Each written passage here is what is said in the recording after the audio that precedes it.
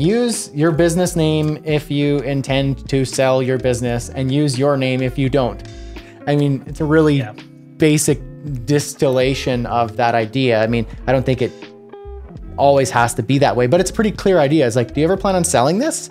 Well, then like build the brand through the company name because then the people can change, but the brand and the and the positioning won't, and you can sell that.